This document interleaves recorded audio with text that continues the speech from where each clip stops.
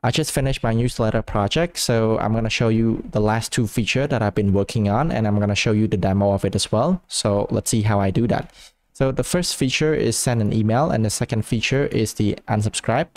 So how I send an email is like this. So first I go into the dashboard. So this is my dashboard. And with dashboard right now, everything, the data right here is real. So the, even the chat right here, we fetch the data from the database and display the chat right here. So it's display the date, let's say April 4, we, we have four uh, subscriber and April 1 we have one subscriber. And how I send an email is I create the form right here and after that I take the value from the form right here and then put it into my newsletter template. So my newsletter template it's looking something like this so it's not looking really good but yeah i mean like this is my first draft. I just finished it today. I mean if i have time i'm to come back and improve it. So basically uh, we have a title description right here and the feature and the youtube link right here. So basically it just take all of the input right here and then pass as a prop to this one. If we look at the code it looks something like this. So you can see this is like the challenge newsletter inside the emails folder and we take all of this prop right here so when I fill the pro uh, props, it's going to look something like this. So basically my newsletter is sending you guys the project each weeks or whenever I have a new project ideas. So I'm going to send to you and then so we can build it together if you wanted to have like, you know, if you don't have any project uh, to build. So basically that's what is my newsletter now. And that's why it we have only this one. So if I have multiple like, you know, newsletter, I probably build a different template for it. So yeah, that's how I do it. So before I send to everyone, so I in my newsletter, you can see right here, we have publish and send test. So the send test right here is going to send to the test mail. And then when publish right here is going to send to every email. So for the send test right here, we can take a look at the code. So if you look at the code right here, so this is the server action. So we have the send test right here, which we're using the resend function and to send an email, which is really easy. So you can see, so this is I using the test mail and then we passing the challenge template, which is from this one. We render it and pass the payload and that pretty much it. So if we have an error, we return. If not, we just return error null. And when we publish, I'm going to use this function send batch right here. So what send batch do is list every email from the email database. And after that, we going to check if there's an error if not we just loops in that error uh, in that email and then generate this one because this is the requirement from the resend basically we putting the we're changing the email right here so that is pretty much it. So after that, I just batch send. It's going to send to everyone.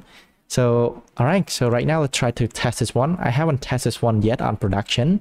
So I'm just, I'm not going to do publish because this is test. So I don't want to spam everyone that's uh, been subscribed. So right now, let's try to do the send test. So this is going to be test project. And this is like test, test feature as well and the YouTube link. Let's try to copy this link and then we can paste this one right here. Hopefully there's no error. Okay.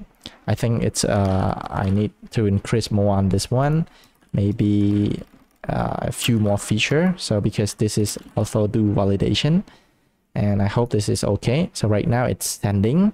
So, all right. Okay. So right now it's please check your inbox and let's try to open my Gmail. So this one, let's navigate to Gmail and as you can see right now, it's sending me the newsletter, which is, if you look at the date and time, which is now, it is zero minutes ago. So it just sent. So as you can see, it looks something like this. And we have this existing value. I think the reason that, uh, because I tested this uh, evening, when I built it seven hours ago, it's exactly looks the same as this one. So right now, after I seeing this one, everything is good to go. I can just, um, okay, right now, let's press publish and then it will send to everyone. And that's how i do and send an email. So yeah i that's pretty much it. So right now let's talk about how i implement unsubscribe. So as you can see on every link we have the unsubscribe right here. And so for the unsubscribe i implement like this So as you can see, when I send the inside the my challenge, so I um, the unsubscribe link. So we have the site URL and I create an API unsubscribe and passing the value ID. So the ID right here is come from the database ID. So I send this one and then inside my API unsubscribe right here, if you go navigate to this one. So as you can see I get the ID and then I do the Supabase admin and then I delete that user. And that's how I do it. So I think there's some concern on this part right here. So what if the ID is guessable?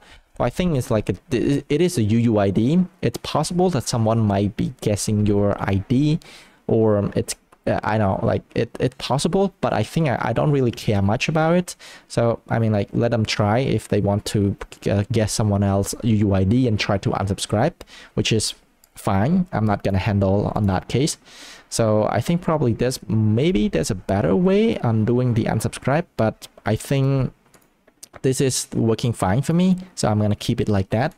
So yeah, so after we delete um, delete the user and then it's we are going to return them to the unsubscribe page and then we going to have if they are an error we're going to return them an error so let me show you what the unsubscribe page look like. So this is the unsubscribe page. So as you can see there's some meme right here. Why did you unsubscribe? Okay, why? Why? So um, that's pretty much it on how I implement the unsubscribe. And I think that's pretty much it, guys. So that's what I wanted to talk right now. And so I think there's something if I want to change, if in the future, if I wanted to change this one, and if the, this uh, is an open source as well. You can grab the link in, in my description to my GitHub and also to this demo. So if I'm going to change, it's probably change the UI. I don't really like the, this UI much though. Like even though it, it's okay, but I think I'm gonna change. So because if you go, if now, if for example, the dashboard right here, the background of the input is not really good uh, I'm I think I should change that.